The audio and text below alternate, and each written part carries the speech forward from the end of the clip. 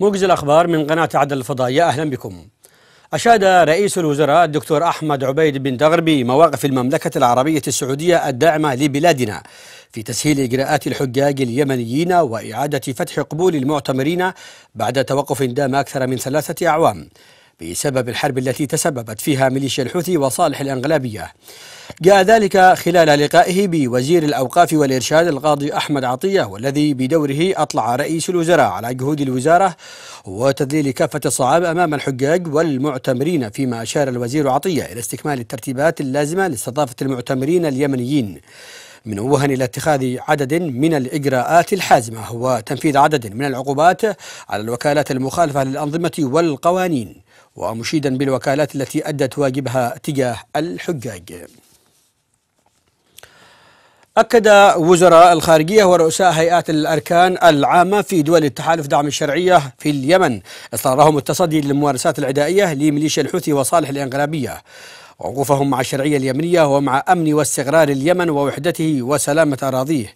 وحماية الإنسان اليمني من الانتهاكات المتواصلة من قبل هذه الميليشيا والعمل على مواجهة تنظيم القاعدة والتنظيمات الإرهابية الأخرى وصون دول المنطقة واستقرارها. وقال وزراء الخارجية ورؤساء هيئات الأركان العامة في دول تحالف طعم الشرعية في اليمن في بيان لهم إن تحرك دولهم سياسيا وعسكريا جاء لتلبية نداء الحكومة اليمنية الشرعية مثلة بفخامة الرئيس عبد ربه منصور هادي رئيس الجمهورية اليمنية. وانسجاما مع قرار مجلس الامن رقم 2216 ضد الميليشيا الإنقلابية الذين قاموا بانقلاب عسكري باختطاف الدولة اليمنية واحتلالهم للعاصمة صنعاء. فشلت ميليشيا الحوثي والمخلوع صالح الانقلابية في محاولتها المستميتة لاقتحام مديرية ردمان ال عواض بمحافظة البيضاء.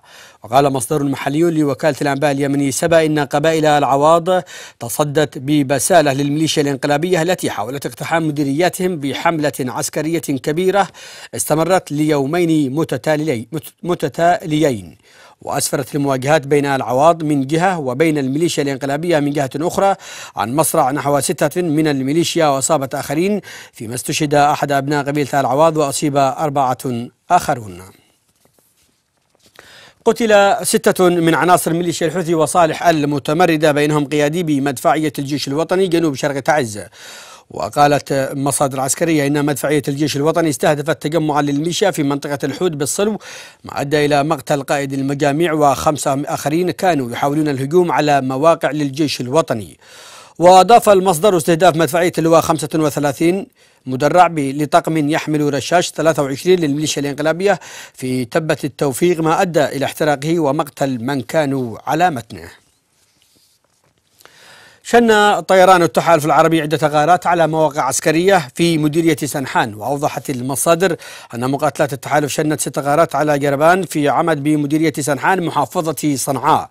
وعلى مواقع يعتقد أنها معسكرات تدريبية تتبع الميليشيا الانقلابية. انتهى الموجز إلى اللقاء.